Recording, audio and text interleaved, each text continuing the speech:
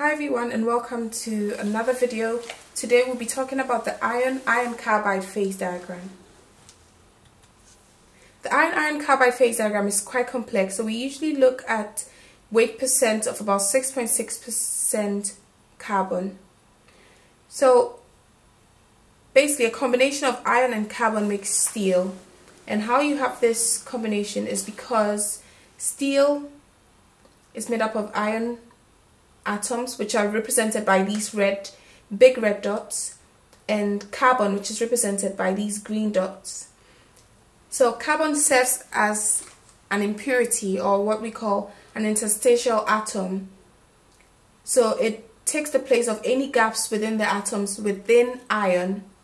So if you if you have a look at this microstructure this phase diagram on the left, the vertical line represents pure iron and this line on the right represents cementite which is Fe3C or iron carbide.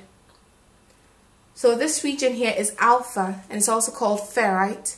This is very soft and ductile iron and it has very little solubility of carbon in iron. It's about 0.02 weight percent of carbon and that's because alpha ferrite has a an atomic or has a crystal structure called body center cubic which looks like this. And it has very little interstitial positions for carbon to fill. So because of that you have much less solubility of carbon in alpha ferrite. Moving on to this phase this is the two phase alpha plus gamma region. The upper region gamma is also called austenite and that is face center cubic. And so you have which looks like this. So you have much more interstitial positions or much more gaps within the atom for carbon to fill. So because of that you can see that here there's a much higher solubility of carbon in gamma which is about 2.14 weight percent.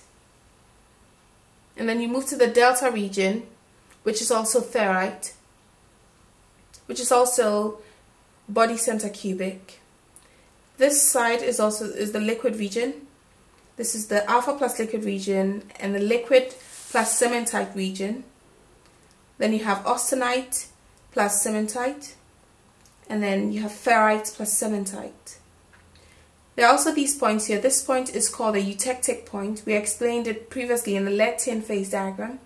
If you haven't seen that video, you can watch it on my channel.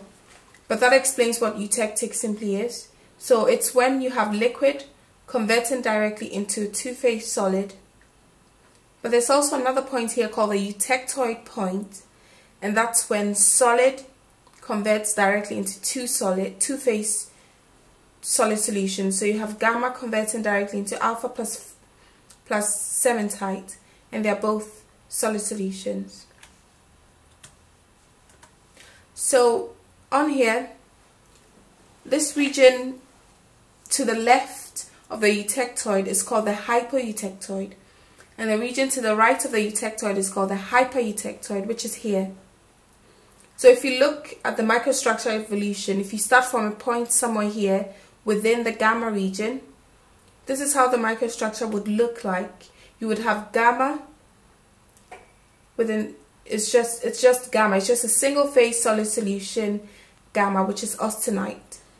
Once you start to move, once you start to cool it down into this region here, the alpha plus gamma, you have alpha ferrite, which begins to form on the grain boundaries, like this. This is called primi alpha or pro-eutectoid alpha. Once you cross the eutectoid region, the remaining gamma will convert to a combination of alpha and cementite, which is called pearlite and this is shown by alternating layers of of alpha and cementite. This is the same for the eutectic reaction where you have atomic diffusion of carbon. So because of that you get these alternating layers. If you also look then at the hypereutectoid, which is this region here, the region to the right of the eutectoid point, the microstructure evolution is quite similar to the hype to the hypoeutectoid. So you start with gamma, which is you start with just a single phase solid solution. And then once you cool it down you move into the gamma plus Fe3C region which is this region here. You start to have the cementite forming within the grain boundaries and then once you move down to this region here once it cools down further you then have alternating layers of alpha and cementite, which also forms per pearlite. But the difference between the hypereutectoid reaction and the hypoeutectoid reaction is that the grain boundaries for the hypereutectoid is cementite, which is shown here. But in the hypoeutectoid, the grain boundaries is alpha ferrite. I can also note that alpha ferrite is soft and ductile, and cementite is hard and brittle. Now, we finally look at the eutectoid reaction. For the eutectoid reaction, we just convert directly from the gamma phase to pearlite. We do not have alpha on the grain boundaries or cementite on the grain boundaries. We just go directly to pearlite. So it's just a complete conversion from austenite to pearlite. And pearlite is alpha plus cementite. So thank you so much for joining us in this video and hope you enjoyed it.